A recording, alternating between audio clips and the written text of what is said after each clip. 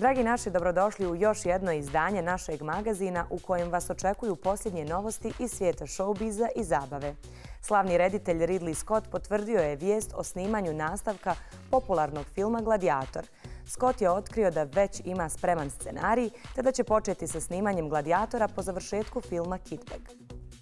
Ridley Scott je u razgovoru za Empire najavio nastavak filmskog hita iz 2000. godine u kojem je glavnu ulogu tumačio Russell Crowe.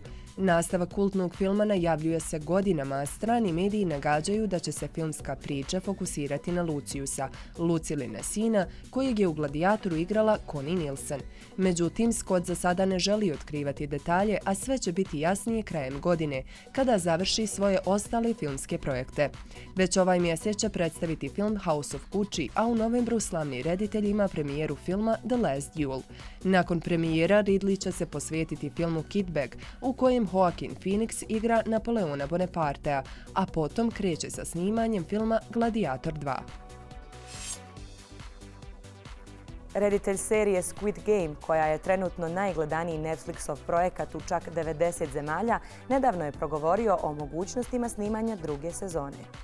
Serija prati grupu stranaca gubitnika koji su se iz različitih razloga našli na dnu, zaduženi i nesretni, a onda im neki tajanstveni ljudi ponude mogućnost da osvoje veliki novac igrajući niz igara. Globalna publika ipak željno čeka novu drugu sezonu, ali nije sigurno da će im se želja ostvariti.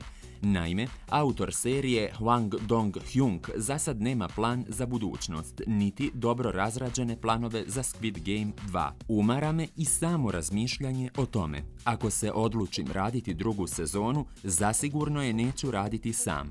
Svakako bih angažovao više scenarista i više iskusnih reditelja, rekao je Dong-hyuk.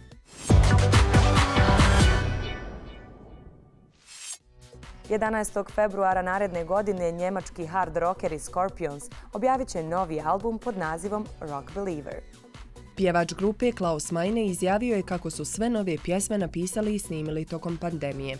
Planirano je da se snimanje odvija u Los Angelesu sa producentom Metallica i Slipknota, Gregom Fidelmanom. Međutim, pandemija je to poremetila. Ipak, ostala je namjera da postignu zvuk kao sa svojih najuspješnijih ploča Blackout, Love at First Thing i Love Drive. Album Rock Believer bit će njihovo prvo izdanje od 2017. godine, kada su objavili antologiju novih i klasičnih pjesama Born to Touch Your Feelings – Best of Rock Ballads. Planirano je da u martu 2022. krenu na svjetsku turneju, a novi single Peacemaker, koji će najaviti album, objavit će 21. oktobra. Pjevačica Kylie Minogue odlučila se vratiti u rodnu Australiju nakon 30 godina života u Velikoj Britaniji, kako bi bila bliže porodici.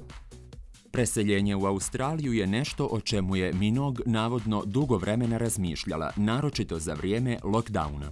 Kako je rekao blizak izvor pjevačici, Kylie poput ostalih muzičara provodi mnogo vremena putujući i nastupajući, a želi što više viđati porodicu u periodu kad ne putuje, pa će joj Australija biti dom. Pjevačica je već promijenila svoju i adresu svoja četiri glavna poslovanja u dokumentima – Još prošle godine Kylie nije bila sigurna o preseljenju zbog dečka Pola, ali prema novim informacijama on je prošli mjesec napustio posao u Londonu, te će imati više vremena za provesti s Kylie u Australiji, ali i da preseljenje bude lakše izvedivo. Par je trenutno i dalje u Velikoj Britaniji jer Kylie priprema nove pjesme.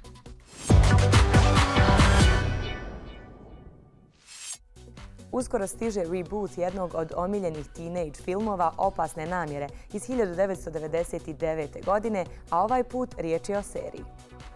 Film Okrutne namjere u kojem su glavne uloge tumačili Sara Michelle Gellar, Selma Blair, Reese Witherspoon i Ryan Philippe je uprkos neusuglašenim kritikama vrlo brzo postao kultni film iz 90-ih godina. Kako piše Deadline, stiže reboot filma i to u vidu serije koja će se prikazivati na IMDb TV-u. Već je potvrđeno da glavna glumica iz filma, Sara Michelle Gellar, ni na koji način neće sudjelovati u novom projektu, dok situacija sa drugim glumcima iz originalne postave još uvijek nije nije poznata.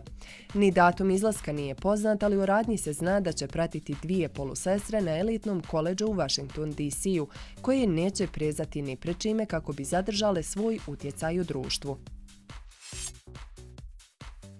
Stigli smo do kraja još jednog izdanja, a vama i sutra preporučujemo da pratite naš magazin kako biste bili u trendu. Hvala vam za pažnju i doviđenja.